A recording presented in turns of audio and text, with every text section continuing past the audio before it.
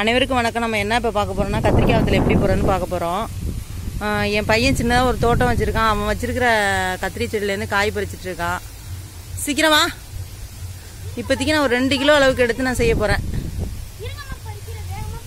சீக்கிரம் வெயிலாக இருக்குது பறிச்சிட்டு வா இருங்க வரேம்மா கொஞ்சம் காய் இல்ல இது போதுமாம்மா போதும் வா இது போதும் சரி வாங்க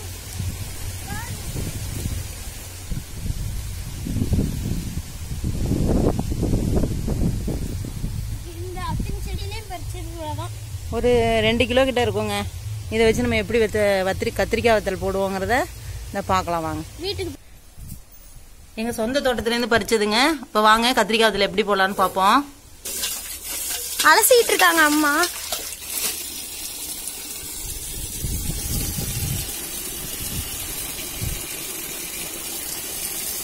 பாருங்க எங்க தோட்டத்திலே பறிச்ச கத்திரிக்காய் ஃப்ரெஷ்ஷா இருக்கு பாருங்க. கத்திரிக்காய் சுத்தமாக அலசி எடுத்துக்கோங்க அலசிக்கணும். அதுதான் ரொம்ப இம்பார்ட்டன்ட்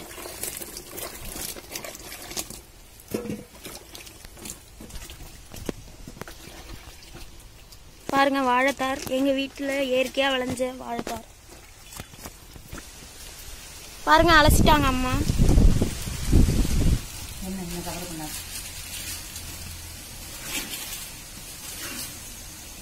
ஒரு பீஸை மூணு மூணா வெட்டிக்கோங்க. வெட்டி தண்ணியில் போட்டுக்கோங்க. கருத்து போயிடும் இல்லைன்னா. ஏன்னா தோட்டத்தில் விளைஞ்சனால பூச்சிச்சு ஒன்றும் இல்லைங்க. உரம் எதுவும் போடலை. இயற்கை உரம் தான் போட்டிருக்கான் பையன். மாட்டு எரு. மாட்டு சாணம் இருக்குல்ல அது மக்கி இருந்தது. வாரம் வாரம் கொடுப்பேன். வீட்டில் செஞ்ச கம்போஸ்ட் கட் பண்ணிட்டு காமிப்பாங்க.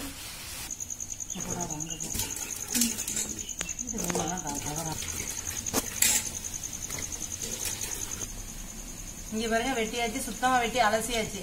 அதாவது இயற்கை உரம் போட்டதுனால வந்து காயில எல்லாம் பூச்சி எதுவும் இல்ல. நான் தான் வளர்த்தேன்.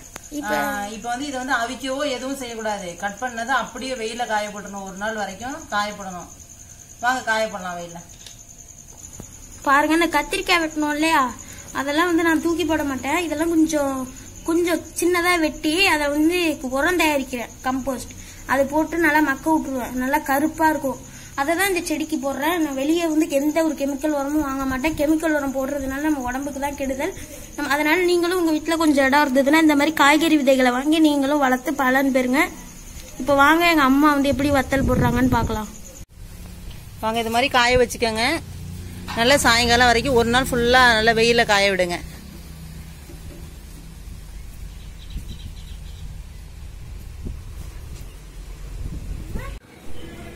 இங்கே பாருங்கள் கொஞ்சம் தண்ணி உழந்தோன்னே எடுத்து இது மாதிரி வேஸ்ட்டில் துணியில் காய போட்டிருங்க. கீழே அப்போ தான் நல்லா கொஞ்சம் உலரும் ஹீட்டுக்காண்டி நான் சிமெண்ட் தரலையே வேட்டியை விரித்து போட்டிருக்கேன்.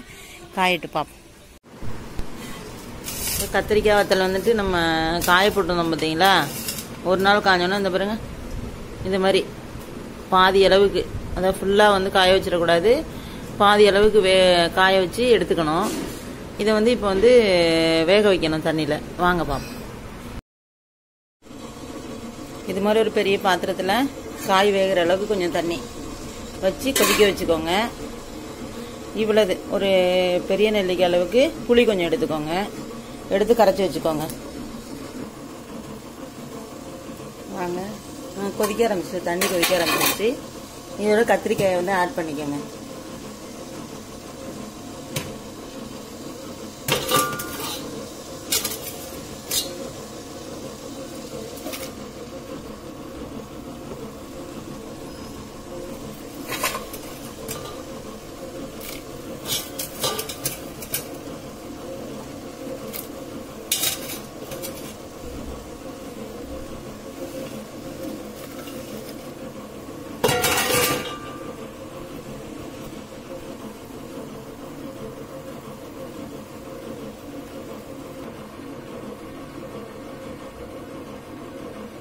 ஆட் பண்ணிக்கோங்க. இது கூட கொஞ்சம் மஞ்சள் பொடி. ஏன்னா பூச்சி பிடிக்காம இருக்கணும் இல்லையா? வத்தல் போட்ட பிறகு. அதுக்காக. இவ்வளோ உப்பு போதுங்க. ஏன்னா குழம்புல பிறகு சேர்ப்போம்ல அதனால உப்பு கம்மியாக போட்டுக்கோங்க. அது கூட கரைச்சி வச்சிருக்கிற புளிக்கரைசல். ஏன்னா இதெல்லாம் பூச்சி பிடிக்காம இருக்கிறதுக்காக. நல்லா கிண்டி விட்டுருங்க.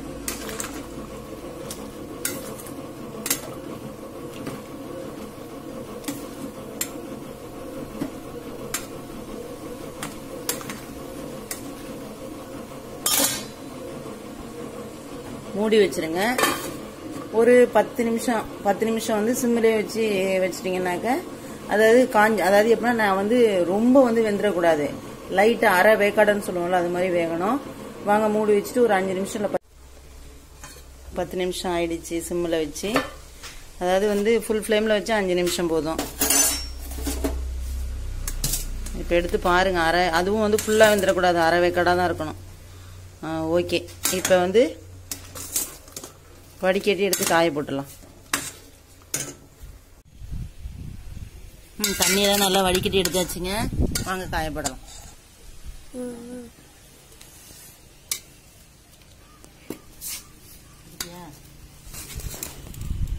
சூப்பரா இருக்கும் பச்சை சா இது அவிச்சது வந்து காயத்துல சாட்டுற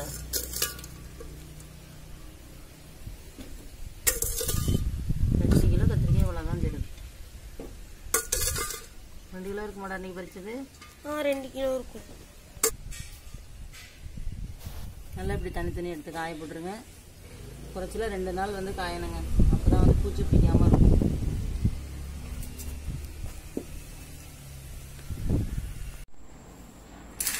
இந்த பாருங்கங்க கத்திரிக்காய் வந்து நல்லா வத்தல் வந்து காஞ்சி ரெடி ஆயிடுச்சு. இது என்னென்னா வந்து ஃபஸ்ட்டு நாள் கட் பண்ணி காய வச்சு ஒரு நாள் காய வச்சு அடுத்த நாள் வந்து அரைவேக்காடு அவிச்சு போட்டு நேற்று இன்னும் ரெண்டு நாள். ரெண்டு நாள் வந்துட்டு வத்தல் காஞ்சிருக்கு. காஞ்சி நல்லா வந்துடுச்சு இதுக்கு மேலே நீங்கள் காய வச்சீங்கன்னாக்கா சருகு மாதிரி ஆகிடும் டேஸ்ட்டு போயிடும் இதோட. இதை வந்துட்டு நீங்கள் வத்த குழம்பு பூண்டு குழம்பு எல்லாம் போட்டு நல்லா செய்யலாம். அது மழை காலத்தில் செஞ்சீங்கன்னா செம்மையாக இருக்குங்க டேஸ்ட்டு ஓகேங்க. இந்த வீடியோ உங்களுக்கு பிடிச்சிருந்தாலும் லைக் பண்ணுங்கள் ஷேர் பண்ணுங்கள் மறக்காமல் கமெண்ட் பண்ணுங்கள் அதை விட மறக்காமல் சப்ஸ்கிரைப் பண்ணுங்கள் என்னுடைய சேனலை மை வில்லேஜ் ஐடியாஸுங்கிற சேனல் சப்ஸ்கிரைப் பண்ணிவிட்டு உங்கள் ஃப்ரெண்ட்ஸுங்களுக்கெல்லாம் ஃபார்வர்ட் பண்ணி சப்ஸ்கிரைப் பண்ண சொல்லுங்கள் ரொம்ப நன்றிங்க.